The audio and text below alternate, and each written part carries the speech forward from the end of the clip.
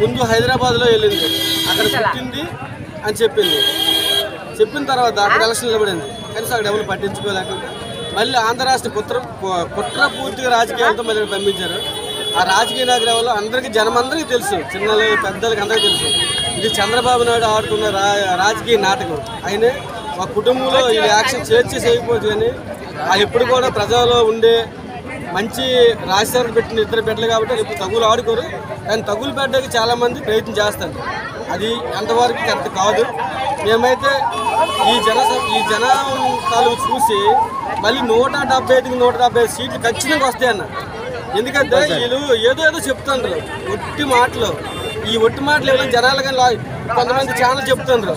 ఈ పవన్ కళ్యాణ్ పవన్ కళ్యాణ్ స్లేట్ అసలు అర్థం కాదు మొన్న హైదరాబాద్ కూడా కనీసం డిపోజిట్లు కూడా రాలేదన్న.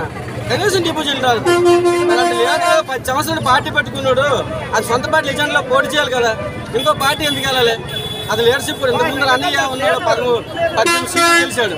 అతను కూడా ఇంకో పార్టీలో కలిసిపోయాడు.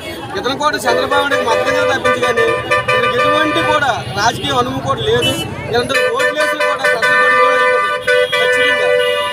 ప్రజలందరూ కూడా ఒక విషయం గమనించాలి. ఎవరైతే సంక్షేమ పథకాలు ఎవరు జనానికి ఎవరికి కష్టపడకుండా మెయిన్ పెద్దందారులకి పేదవాళ్ళకి చెప్పిన రా- జగన్మోహన్ రెడ్డి ఈ కాన్సెప్ట్ ప్రతి ప్రజలకి నోటెడ్ అవుతుందన్న ఖచ్చితంగా. సంక్షేమ పథకాలు కష్టపడకుండా కనీసం అభివృద్ధి జరిగే అన్న అభివృద్ధి అంటే రోడ్లు కాదన్న. ఇది అన్న అభివృద్ధి అంటే రోడ్లు రోడ్లు కాదు. ఏదో రోడ్లు అని చెప్తాను కానీ అన్న ఈ రోజు రిక్షా కూడా దగ్గర ఆటో కూడా వరకు ఉన్నాం. ప్రతి రైతు కూడా ఇంటికి వచ్చి తెల్లవారు జాముకి పెన్షన్ దగ్గర నుండి ఎటువంటి కష్టాలు కూడా లేవని ఇవన్నీ అపోహాలు వేస్ట్ అన్న. ఈ చెత్త రాజకీయాలు కూడా చేయకూడదు. జగన్ అంటే జగనే. ఈ జగన్ రాజశేఖర బిడ్డ అంతే బిడ్డ అంతే బిడ్డే. అతని మాట అంతే ఇతని మాట అంతే. ప్రజల మటుగా ఎటువంటి మోసపోరు. ఖచ్చితంగా నూట డెబ్బై ఐదు నూట డెబ్బై సీట్లు గెలిపిస్తాను మా శ్రీకాకుళం నుండి మా ధరం పెద్దగా హైయెస్ట్ మెజార్టీ ఇస్తే గెలిపిస్తాను గ్యారంటీగా మీరు చెప్తాను సెంటర్లోకి వెళ్ళి ఉత్తర రాష్ట్రానికి జగన్మోహన్ రెడ్డి ఎందుకు కావాలని ఇక్కడ మీరు క్వశ్చన్ వేశారు సార్. ఆంధ్రప్రదేశ్లో నాలుగు సంవత్సరాలు పరిపాలన నాలుగున్నర సంవత్సరాలు దాదాపు అవుతుంది. ఏ సామాజిక వర్గం తీసుకున్నా బీసీ ఎస్టీ ఎస్సీ మైనారిటీ ఎవరు తీసుకున్నా సరే ఈరోజు ఆనందంగా ఉన్నారు. ప్రతి ఇంటికి కూడా సంక్షేమ పథకాలు ఉంటున్నాయి ప్రతి ఇంకా నాడు నేడు ద్వారాగా స్కూల్ని హాస్పిటల్ని అభివృద్ధి చేసి అభివృద్ధి పథంలో నడిపి ఈ రోజు ప్రతి స్కూల్ని కూడా ఇంగ్లీష్ మీడియం చేశారు. కాబట్టి మన కార్పొరేట్ స్కూల్తో పోటీ పడుతున్నాయి ప్ర- గవర్నమెంట్ స్కూల్ కూడా. కాబట్టి జగన్మోహన్ రెడ్డి కావాలని తల్లిదండ్రులు తల్లిదండ్రుల పిల్లలు కూడా కోరుకుంటున్నారు. డెవలప్మెంట్ ఆంధ్రప్రదేశ్లో ఉంది. అభివృద్ధి కాలేదంటారు. రాజధాని లేదంటారు.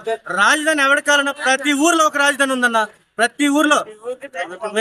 అప్పుడు చూస్తే ఎక్కడ ఏ పంచాయతీలకు వెళ్ళినా సరే పంచాయతీలో చూసుకున్నట్లయితే ఆర్బీకేలు కానీ సచివాలయాలు కానీ అక్కడ ఉన్నటువంటి హెల్త్ క్లినిక్లు చూస్తే అదే రాజధాని అన్న. అంతకన్నా ఆంధ్రప్రదేశ్ ఏం కావాలి ఇద్దరు ఇద్దరు ఏంటి పెట్టి చూసి పెట్టే వాళ్ళు ఒకళ్ళు ఇద్దరే ఉన్నారు. ఒకటి బాబాసాహెబ్ అంబేద్కర్ ఒకటి జగన్మోహన్ రెడ్డి చెయ్యకి చూపెట్టంటే ఆయన శాసించాడు ఈయన శాసిస్తున్నాడు. ప్రపంచంలో మన ఇండియాలో మొత్తం రాష్ట్రం చూసుకున్న బాబాసాహెబ్ అంబేద్కర్ ఆలోచన విధానం జగన్మోహన్ రెడ్డి ఇంకా ఆయన అభివృద్ధి చేయాలి ఇంకా అభివృద్ధి కావాలి. మళ్ళీ రావాలి. మన మూడు రాజధానులు కావాలి. ఉత్తరాంధ్రకి మాకు ఒక రాజధాని కావాలి. మాకు ఉత్తరాంధ్రకి ఒక రాజధాని కావాలి. ఇంకా జగన్ రావాలి. ముప్పై మూడు స్కీములు ఇచ్చారు. దాంట్లో డీబీటీ స్కీమ్ కింద పాతిక స్కీములు ఎనిమిది స్కీములు ఏమో నాన్ డీబీటీ స్కీములు. ఇవన్నీ ఒక ఎత్తు అయితే ఆంధ్రప్రదేశ్లో గవర్నమెంట్ స్కూల్స్లలో తీసుకొచ్చిన విప్లవాత్మకమైన ఒక మార్పు చాలు మళ్ళీ జగన్ అన్నకి ఈ ఆంధ్ర స్టేట్లో మళ్ళీ సీఎం చేయాల్సిన అవసరం ఎంతైనా ఉందని చెప్పేసి దీనికి ప్రతి ఒక్కరు కూడా రుణపడి ఉంటారని చెప్పేసి మళ్ళీ చేసే బాధ్యత మేమే తీసుకుంటున్నాం జగన్ సైన్యంగా మళ్ళీ చేస్తాము గెలిపిస్తాం మరి ఆయన జగన్ సీఎం నెక్స్ట్ సీఎం. మా పని. జగన్ కావాలి. వాళ్ళన్నీ కూడా ఈ సంక్షేమ పథకాలు అమలు కావాలంటే కంపల్సరిగా జగనే కావాలి.